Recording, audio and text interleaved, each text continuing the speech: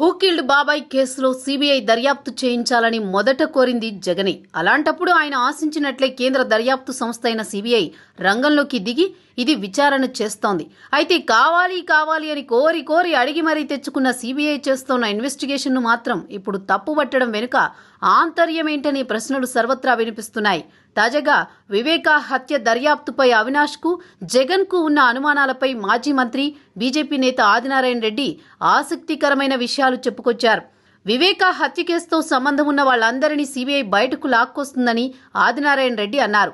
Avinash arrest రేపో మాపో ఖాయమనే విషయం ఆయనకు తెలుసని అందుకే భయపడి ముందస్తు బెయిల్ కోసం పిటిషన్లు వేస్తున్నారని ఆదినారాయణ రెడ్డి ఆరోపించారు.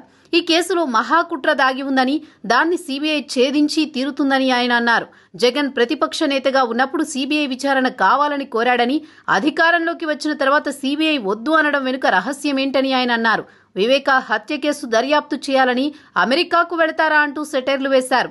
కోర్టు తీర్పులన్నీ వారికి అనుకూలంగానే రావాలంటే ఎలా కుదురుతుందని ఆదినారాయణ రెడ్డి ప్రశ్నించారు. సిబిఐ కాబట్టే నిజానిజాలు బయటపడుతున్నాయని వారికి ఒత్తిడి ఉండే అవకాశమే లేదని ఆయన అన్నారు.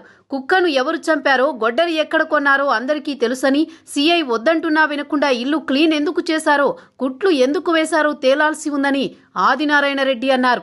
ఇది తమ కుటుంబ సమస్య అని సీఐతో ఎంపీ అవినాష్ రెడ్డి ఎందుకన్నాడో నిగ్గు తేల్చాలని ఆదినారాయణ రెడ్డి సీబీఐని కోరారు. వివేకానందరెడ్డి ఉదయం చనిపోతే సాయంత్రం నాలుగు గంటలకు జగన్ వచ్చాడని కబోర్డ్కు రక్తం అంటిందని ఐదు గొడ్డలి పోట్లు పడ్డాయని ఎలా చెప్పాడనేది ఆదినారాయణ రెడ్డి ప్రశ్న. భాస్కర్ రెడ్డితో మాట్లాడి కథ అల్లారని ఇంటి చుట్టూ కెమికల్స్ చల్లారని సిబిఐ నిర్ధారించిందని ఆయన అన్నారు. ఎన్ని కోట్లు సంపాదించినా జగన్ అసంతృప్తితోనే ఉంటాడని సీఎంగా ఇప్పటికే మూడు నాలుగు లక్షల కోట్లు సంపాదించాడని ప్రస్తుతం పది నుంచి ఇరవై లక్షల కోట్లు సంపాదించాలని ఆయన టార్గెట్గా పెట్టుకున్నట్లున్నాడని ఆదినారాయణ రెడ్డి తీవ్ర వ్యాఖ్యలు చేశారు. సీఎం పదవి వచ్చిందన్న తృప్తి జగన్కు లేదని ప్రధాని పదవి కావాలని ఆశ కూడా పుట్టిందని ఆయన అన్నారు. వివేక హత్య కేసుకు సంబంధించి ఇలా ఒక్కొక్కరుగా బయటకొచ్చి జగన్ అవినాష్ల తీరుపై మండిపడుతున్నారు. అవినాష్ అరెస్ట్ ఖాయమని తేలటంతో అందరి దృష్టి వైఎస్ జగన్ మీదకు వెళుతోందని తమ్ముణ్ణి కాపాడబోయి లేనిపోని చిక్కులు జగన్ తెచ్చిపెట్టుకుంటున్నాడంటూ సొంత పార్టీ పార్టీలోనే ఓ వర్గం గుసగుసలాడుకుంటోందట.